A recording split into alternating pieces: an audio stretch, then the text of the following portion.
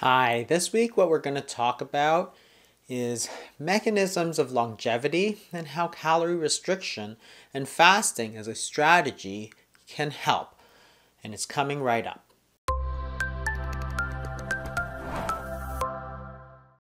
We talked in our previous video about theories of aging and how we see aging more as a trade off between growth and longevity. That is just like a car.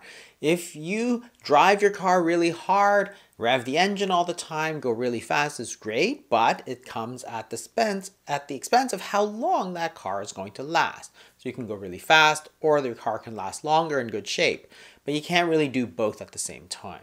And our bodies are much the same. That is, the same mechanisms that underlie growth also underlie longevity. If you do a lot of growing, then you're going to perhaps live a little less long. So therefore, one of the ways that we can maximize longevity is to slow down our growth and go more into a sort of repair and maintenance mode. And one of the most reliable ways to do this from a scientific standpoint is calorie restriction. And studies on animals have consistently shown that eating fewer calories extends the life. And this goes back to the 1930s when pioneering work by Dr. Clive McCay showed that on rats, if you reduce the amount of calories, Rats live longer. So he compared several groups of animals. One of them he let eat as much as they wanted, and another group of animals he really cut back what they could eat. They were calorie restricted. And he found that those calorie restricted rats lived much longer to the surprise of most of the people in the field, with the important proviso that you have to avoid malnutrition if you restrict calories too much, in fact, then you get growth retardation, you get poor development, and you don't live as long. However, studies then were extended to other animals, including worms, flies, and other mammals as well. In 1939, he said retardation of growth by diet, complete except for calories, affords a means of producing very old animals. So, making sure you get enough vitamins, minerals, proteins, healthy fats, but not taking too much is a great way to extend life, but not only life, but health. That is, what they saw was fewer chronic diseases, including things like cancer, chronic diseases like kidney disease, and so on. The problem, of course, with humans is how do you calorie restrict them when people generally have an abundance of food? And that was um, the easiest way they thought to do that was by intermittent fasting. In 1946, a lot of researchers were saying, well, it's actually the easiest and most practical solution is to simply limit the eating opportunities rather than expect people to eat until they are not quite full because that's not the normal way we eat. When we eat, we eat until we're full if there's enough food. So it's a lot easier if you restrict the number of times you eat rather than try to rely on willpower. Think of it this way. Is it easier to say, well, yeah, I, I shouldn't be eating ice cream, so I'm going to eat ice cream only once a week? Or is it easier to take a lick of ice cream with every single meal, but stop yourself even though the whole uh, scoop is there ready for you to eat? Well, that's really hard and it's going to take a lot of willpower. So, really, it's a lot easier to do intermittent fasting. So, it's a way to restrict the number of calories in a sort of socially acceptable and easier manner. In terms of the mechanisms of disease, there's a lot of ways that calorie restriction actually can make sure that we're healthier as long as we're giving enough nutrients. One way is that it decreases body fat. And we know that increased body weight and body fatness increases the risk of a number of diseases, particularly these days when we're faced with type 2 diabetes, heart disease, strokes, and cancers, all of which can be related to obesity. The second major way is a decreased modulation of cell survival. Also known as apoptosis. And apoptosis is a mechanism of controlled or programmed cell death. And that sounds really bad if your cells are dying, but in fact, it's actually a very good thing because what you're doing is you're marking certain cells for removal, and those are the cells that are not going to be as functional. Maybe they're a little junky, they're a little broken down.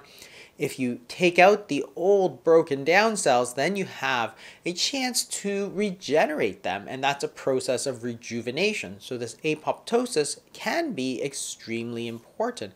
And if you don't have enough, perhaps you get these other degenerative diseases, chronic diseases, and things like cancer.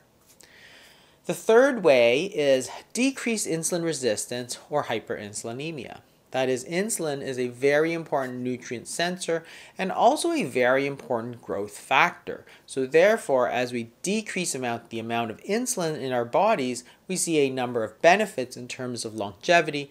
That is, this uh, you know this seesaw between growth and longevity. We want to tilt ourselves in longevity. When we're young, of course, it doesn't matter so much, and we want to tilt towards growth.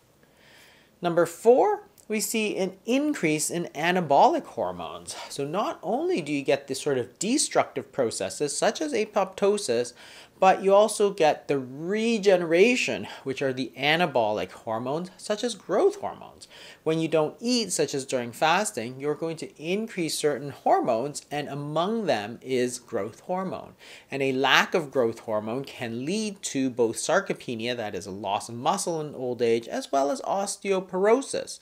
So, this growth hormone is very important, and one of the ways you can increase it is by fasting. Another way that calorie restriction leads to increased health span is a decreased inflammation.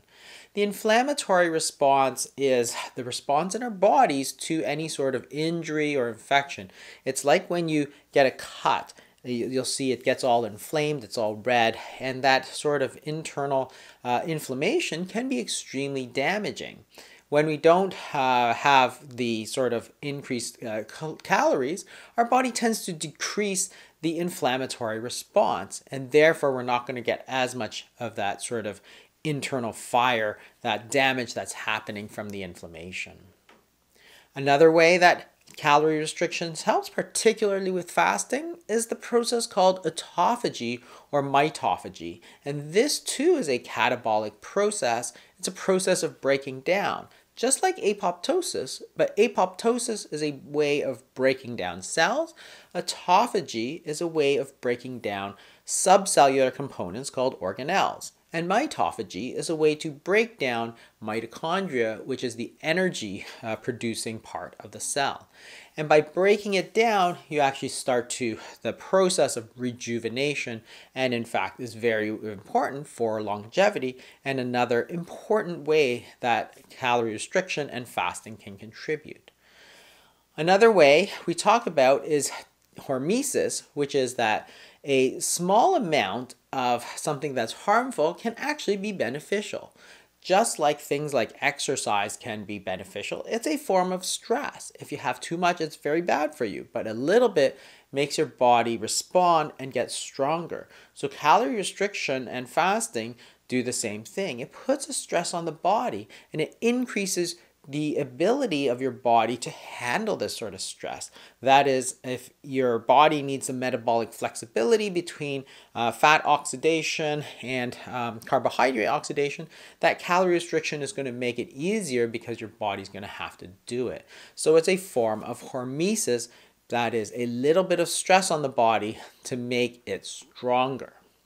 And the final way that calorie restriction can really uh, improve lifespan and health span is the decrease in oxidative stress or free radicals.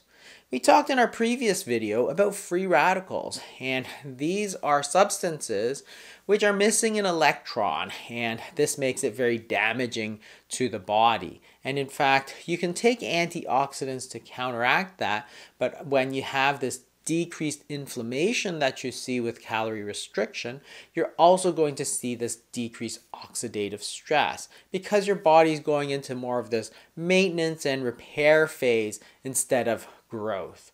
So there's a lot of different ways that calorie restriction can lead to increased longevity, but also increased health. Certain uh, cultures do that naturally. They naturally eat very little, for example, or in the case of Okinawa, they have a tradition where they will stop eating before they're full. They will make a conscious decision to eat only until they're 80% full, not 100% full. And in fact, those are some of the longest lived people in the world. Another way that is very good is intermittent fasting, and this is what most people have done. If you look at most religions and most cultures, they have a period of fasting, whether it's once a year or a whole month at a time, or certain parts of the year or a few days at a time. It's all different, but all of them have the same sorts of tradition that yes, food is available, but for a period of time, I am going to not eat that food. Not because it's fun, it's not fun, but because it's something that's really healthy to do. It's considered often and called a cleanse or a detoxification or purification, something like that, because that's in fact what it's done. If you look back at the mechanisms of action, what you're in fact doing is clearing the body out of the excess fat, the excess glucose, trying to decrease the inflammation, um, get rid of some of the free radicals, decrease the insulin, decrease growth, and go into this sort of uh, repair mode. And you do that once a year or every few days. That's what's important to do, and that's what it means to stay healthy. Thanks for watching, everybody. I hope you learned a little bit of something. If you did, maybe share it with a friend. Have a look at our previous video on theories of aging if you want a little background on what we just talked about. Thanks so much. I'll see you next week.